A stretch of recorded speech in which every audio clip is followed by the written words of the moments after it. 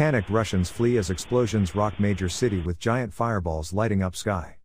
Russians have been frantically fleeing from the city of Belgorod after multiple strikes have reportedly hit the area. Videos on social media from the major city, which is located just 25 miles from the Ukraine border, show long queues forming at Belgorod's railway station. A foreign policy expert, based in Ukraine's capital city Kiev, shared a video that appeared to show hundreds of people, some with suitcases, trying to leave the city. He wrote, Russians are fleeing Belgorod as explosions rock the city and air defense activity lights up the sky. A video from the scene was also shared by a Ukrainian born former race car driver. Writing on Twitter, Igor Sushko said, Belgorod is located 25 miles from the border with hashtag Ukraine. The population is frantically trying to flee to inland Russia after multiple reported strikes. Putin is an idiot.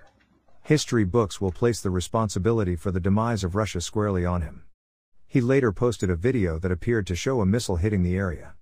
Alongside the video, he wrote, One such strike in hashtag Belgorod was caught on camera. You can also hear helicopters. Independent media organization, SOTA, said that residents reported hearing sounds similar to explosions on the city's telegram channels. Cameras near the city's airport also recorded bright flashes in the sky. Around the same time, videos and photographs of giant queues at the railway station began to appear, SOTA's channel said.